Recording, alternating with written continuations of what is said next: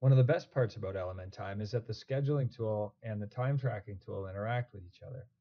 So if I have a crew out on site doing work and that work's on the schedule, even if it's not scheduled for that exact day, it's going to ask the crew whether they completed the work and then it's going to update my schedule to let me know that we did complete the work.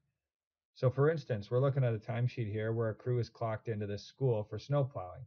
And this snow plowing has been added to my schedule as some unscheduled work. When the crew leaves site to go to the next job, they're going to mark in who it is and what they're doing on the next job and when they started. Now it's going to ask me what we did at that site. So I'm going to mark down that maybe we did a plow and maybe we also mark put down uh, two tons of salt and the lot was all clear. Now it's going to ask me whether we completed the plow or not. What it's doing here is detecting that you've got a visit on the schedule that's today or previous today that has not been marked yet as complete. And it tells my crew up here, don't mark the visits complete until the work is completely finished. That's going to be an important part of your training.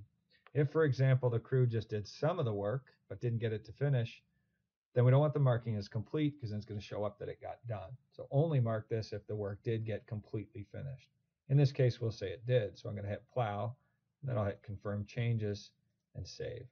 Now what that's going to do is update my daily whiteboard with a little check mark and update that scheduled visit as well to let us know that that job got completed on January 26th by the foreman that filled out the timesheet.